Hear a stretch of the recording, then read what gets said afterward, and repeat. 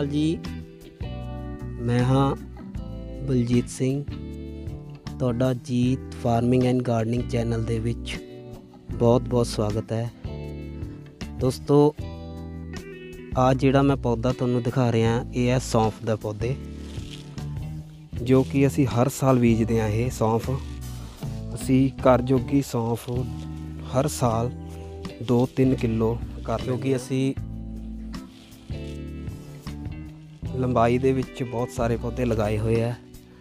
ਇਹ ਸੌਂਫ ਹਰ ਸਾਲ ਸਾਡੇ ਕੋਲ 2-3 ਕਿਲੋ ਹੋ ਜਾਂਦੀ ਹੈ। 1.5 2 ਕਿਲੋ 1.5 ਕਿਲੋ 2 ਕਿਲੋ ਆਰਾਮ ਨਾਲ। ਕਈ ਵਾਰ 3 ਕਿਲੋ ਵੀ ਹੋ ਜਾਂਦੀ ਹੈ ਇਸ ਤੇ ਫਲਾਵਰਿੰਗ ਵੀ ਆਣੀ ਸ਼ੁਰੂ ਹੋ ਚੁੱਕੀ ਹੈ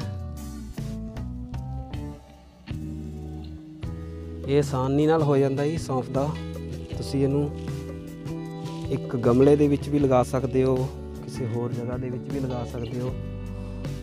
ਬਹੁਤ ਹੀ ਆਰਾਮ ਨਾਲ ਆਸਾਨੀ ਨਾਲ ਇਹ ਹੋ ਜਾਂਦਾ ਇਸ ਨੂੰ ਆਪਾਂ ਨੂੰ ਹਰ ਇੱਕ ਘਰ ਨੂੰ ਆਪਣੇ ਗਮਲੇ ਦੇ ਵਿੱਚ ਚਾਹੇ ਆਪਣੇ ਗਾਰਡਨ ਦੇ ਵਿੱਚ ਲਗਾਉਣਾ ਚਾਹੀਦਾ ਬਹੁਤ ਹੀ ਸੌਖੇ ਤਰੀਕੇ ਨਾਲ ਹੋ ਜਾਂਦਾ ਹੈ। ਜਦੋਂ ਫਲ ਲੱਗਦਾ ਉਹਨੂੰ ਕੱਟ ਕੇ ਰੱਖ ਲਓ ਤੇ ਉਸ ਤੋਂ ਬਾਅਦ ਥੋੜੀ ਜਿਹੀ ਸੁੱਕਣ ਤੋਂ ਬਾਅਦ ਇਹ ਆਪ ਹੀ ਆਪਣੇ ਪੌਦੇ ਤੋਂ ਅਲੱਗ ਹੋ ਜਾਂਦੀ ਹੈ।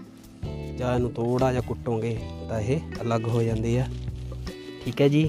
ਇਸ ਲਈ ਅਜੇ ਸੌਂਫ ਦੇ ਪੌਦੇ ਵੀ ਲਗਾਓ।